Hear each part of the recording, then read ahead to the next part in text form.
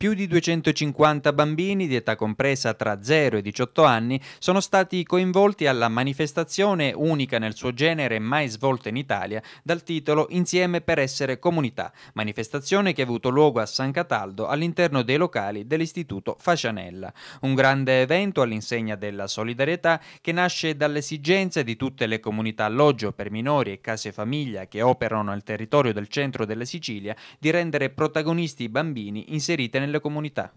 Sono 19 le comunità che partecipano a questo straordinario evento, più di 250 bambini inseriti nel, nelle comunità che oggi prendono eh, parte ad una festa straordinaria, ad una festa che li rende protagonisti, eh, perché lo sono, le, le, comunità vivono per questi, per questi ragazzi. Eh, una giornata di festa, una giornata di attività ludiche e ricreative, eh, gruppi di ragazzi divisi in funzione alla fascia di età, eh, 0-9 anni all'interno dell'area gonfiabile che l'associazione ha realizzato appunto per, per, i bambini, poi più grandicelli impegnati nel campo di calcio e con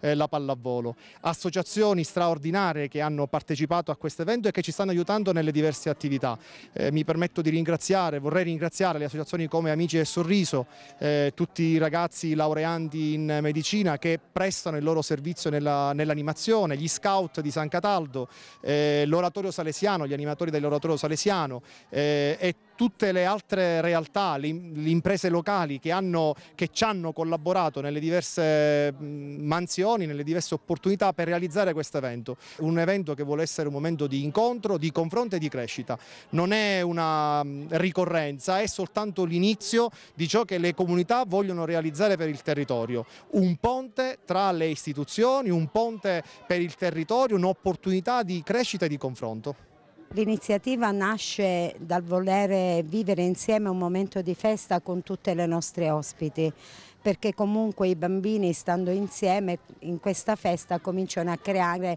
anche segni di comunione. Ma soprattutto anche perché ci siamo voluti incontrare con tutti gli altri responsabili, tutti della provincia di Enna, Caltanissetta e una rappresentanza di Agrigento per vivere anche dei momenti di comunione tra di noi